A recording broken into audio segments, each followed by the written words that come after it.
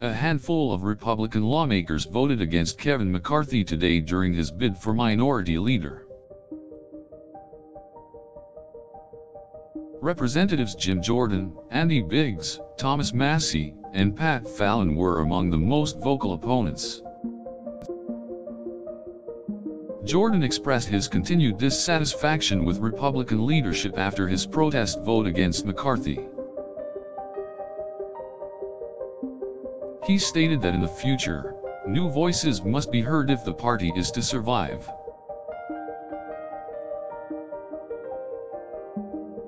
Biggs came out against McCarthy for his failure to withstand President Donald Trump and his policies.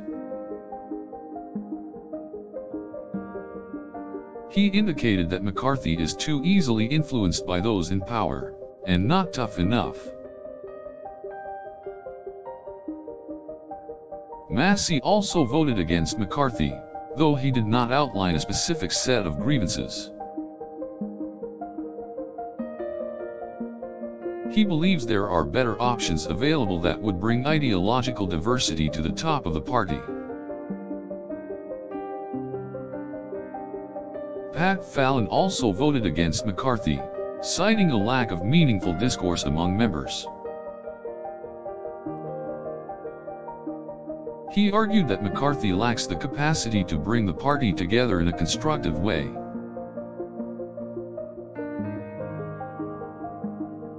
Other members who voted against McCarthy included Representatives Chip Roy, Matt Rosendale, Chip Roy, and Scott DesJarlais.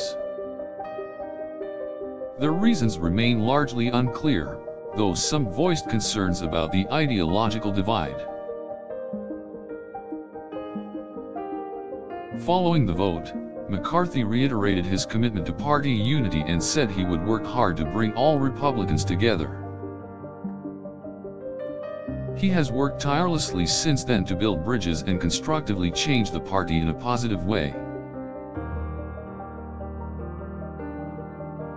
A few members, such as Senator Rand Paul, have expressed support for McCarthy's bid for minority leader.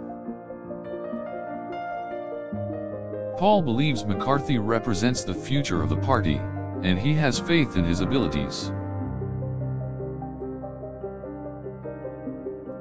Despite the vocal opposition today, McCarthy ultimately won the majority of the vote.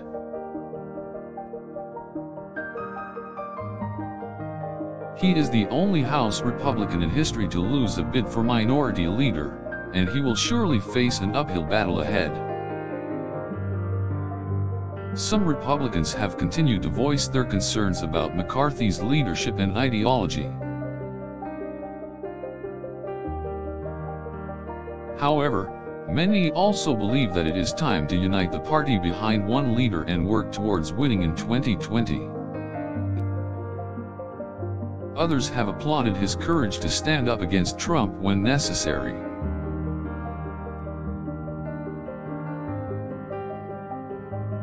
They believe McCarthy is a leader who is willing to stand up for conservative values and principle from time to time. People are encouraged by McCarthy's political experience and his ability to effectively communicate with all members. He has a long history of working with both Democrats and Republicans, which many find reassuring. The opposition against McCarthy among some Republican members has highlighted the deep rift within the party.